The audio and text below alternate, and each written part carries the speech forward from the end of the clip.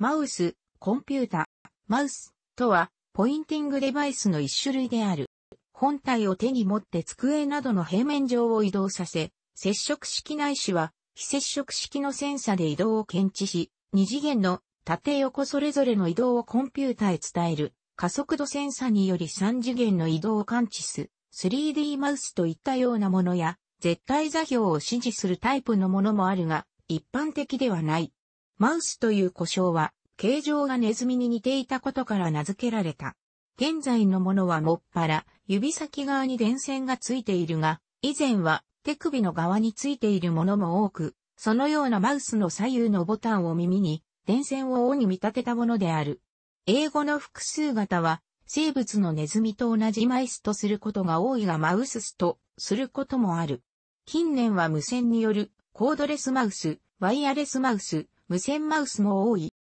ワークステーションをはじめ、1980から90年代以降は、パーソナルコンピュータのグラフィック性能も強化され、グラフィカルユーザーインターフェース、GUI が一般的になると、GUI におけるデフォルトのポインティングデバイスとして普及した。家庭用ゲーム機にも、スーパーファミコンなどにも存在し、近年は USB インターフェースにより市販品を使用可能だが、商品の性質上ゲームパッドで通常の操作はすべて可能なようにデザインされていることもあり、対応ゲームはそう多くなく、マウスを必須とするゲームは家庭用ゲーム機にはほとんどない。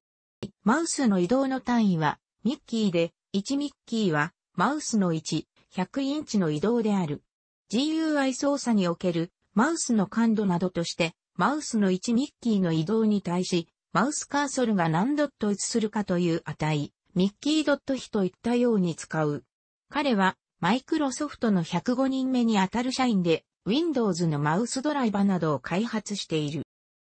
オペレーティングシステムによっては、マウスの移動速度が速い場合や、加速度が大きい場合に、ポインタをマウスの移動距離よりも大きく移動させる機能がある。これによって、ポインタの座標とマウスの実際の位置とは対応しなくなるが、より動かす感覚に近くポインタを移動できると感じるユーザーもいる。この場合、マウスはポインティングデバイスではなく、ポインタを移動させるデバイスとして捉えられていると言えよう。また、マウス位置とポインタ座標が対応している方が、正確にポイントしやすいと感じるユーザーもいる。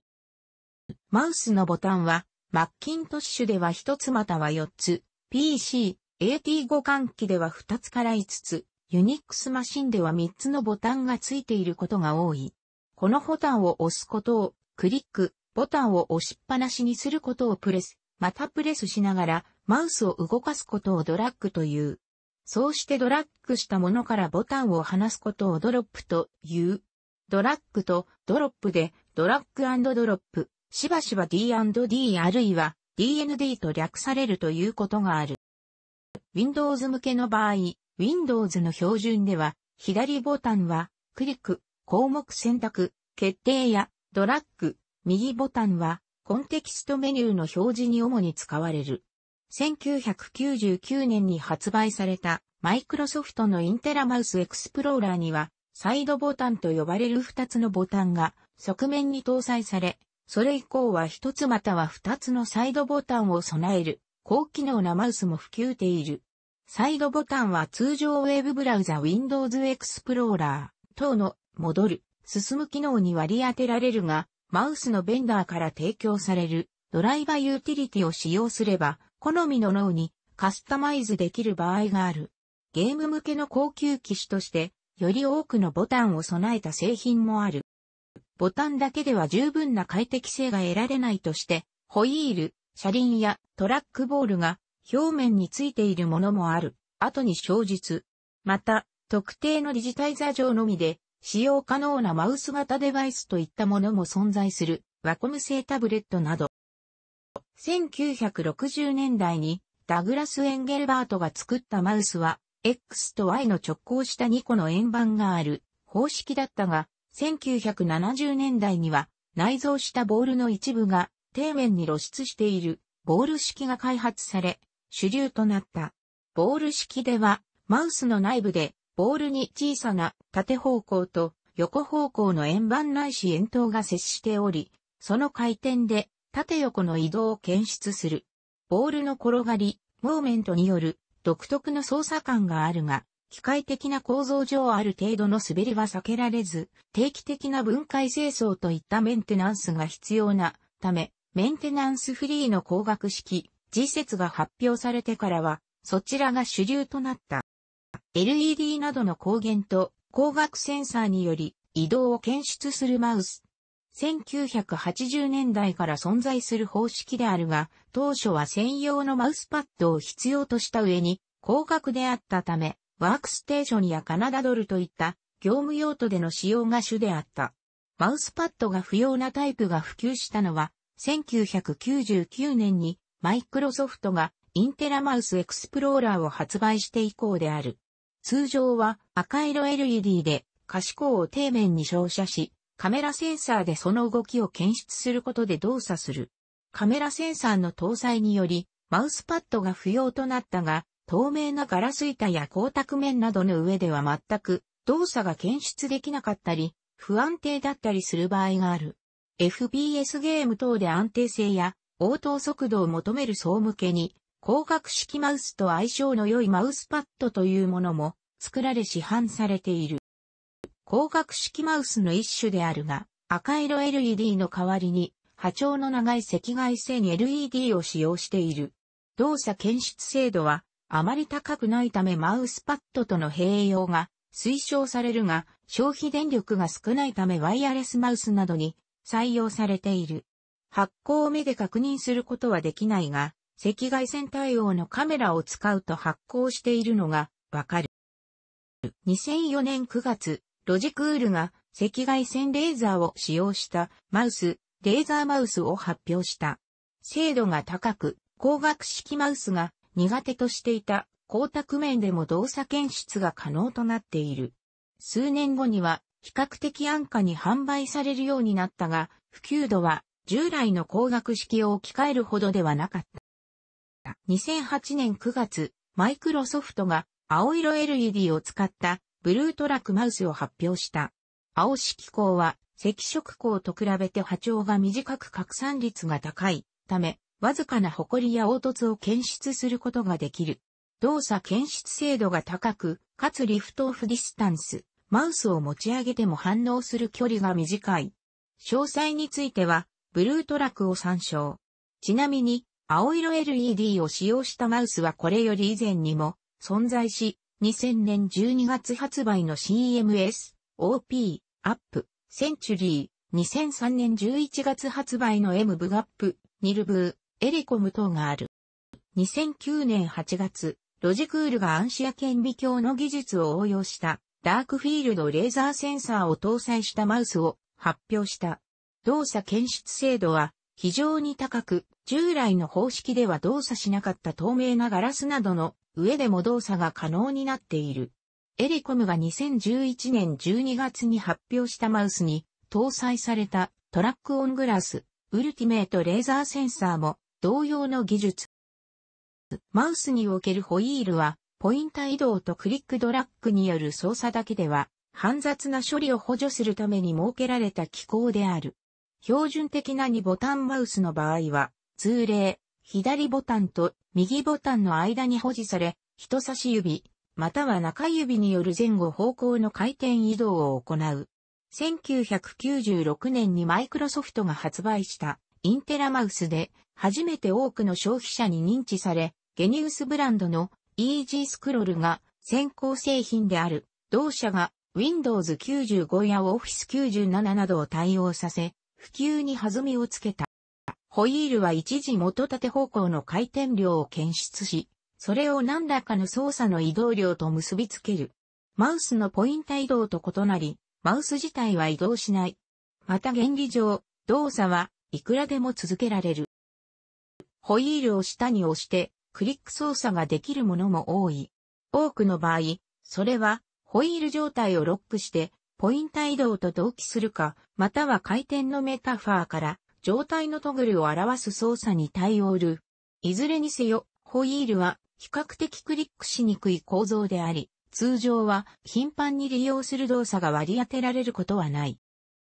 ワークステーションでは、ホイールマウス誕生以前から3ボタンマウスが一般的であったが、ホイールマウスがワークステーションや PC ユニックスでも使われるようになった後は、ホイールのクリックに従来の中ボタンの操作を当てるようになった。このため PC 用でも元がワークステーション用だったりするような CAD 等のソフトでは元々のワークステーション用の中ボタンの機能をホイール押下に割り当てていることがある。ペースと操作用として多用される場合があるが、ホイールのオーカの検出には多用されない前提のスイッが使われていることがあり、劣化が早いことがある。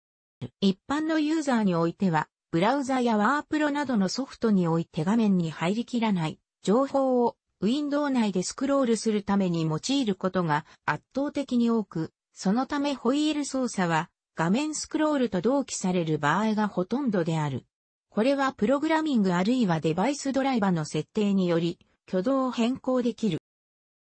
中クリックあるいはホイールクリックへのアサインはタブブラウザが普及してからは新しいタブを開くタブを閉じるなどの挙動が定着した。その延長上で Windows 7のタスクバーでは、タスクスイッチを中クリック、ホイールクリックすると、そのアプリケーションの新しいウィンドウあるいはタブが開く。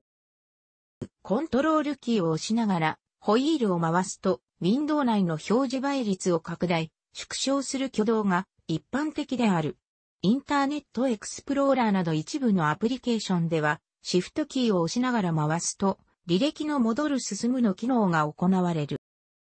ホイールボタンの定着の弊害として、ホイールマウスで代用が可能であることから、従来のワークステーション用マウスと同様の3ボタンマウスの流通が減少し、ホイールマウスを3ボタンマウスと称すようになったため、入手などの際に従来型3ボタンマウスを指名することが難しくなったということが挙げられる。あくまでも代用であって、ドラッグ操作のしづらさや前述のようにスイッチの耐久性の問題がある。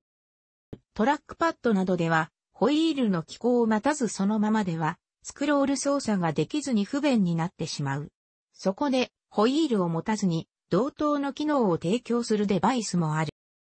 PC、AT5 換気では PS にコネクタ、それ以前は汎用シリアルポート、マッキントッシュでは Apple デスクトップバス、ADB 端子が長く使われていたが、2000年代に緩やかに USB 接続に置き換わった。2015年現在 PS に方式は安価なマイコンなど USB 機能を持たないような機器用や特殊目的などでわずかに残っている。有線接続はコードの扱いが煩わしいが、接続の確実性や紛失や充電などの問題がないという利点もあり、広く使われている。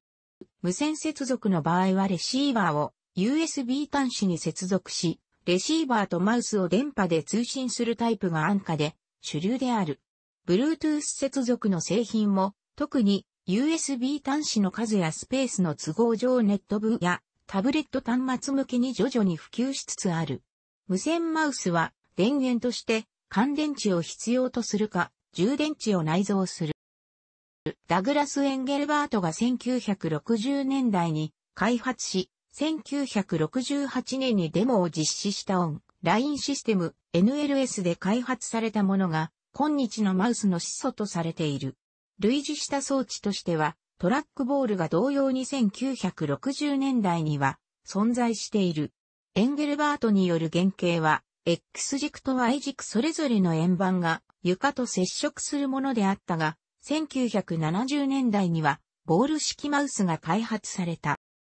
ノートパソコンにはタッチパッドやポインティングスティックといったマウスを代替可能なデバイスがキーボードの付近に内蔵されている。慣れが必要でマウスほど快適な操作ができない場合が多いため、別途マウスを接続するユーザーは多い。標準でマウスが同梱されていることもある。ノート、PC と一緒に持ち運ぶための小型、軽量マウスがモバイルマウスなどの名称で販売されている。キーボードは最も一般的な入力、ユーザーインターフェースだが、アプリケーションや OS には多くのキーボードショートカットが用いられ、マウスに手を伸ばさなくても、キーボードだけで作業が完できる場合もある。またカーソルキーでマウスポインターを動かせたり、マウスボタン入力を矢印キーで再現できるユーティリティソフトウェアも存在する。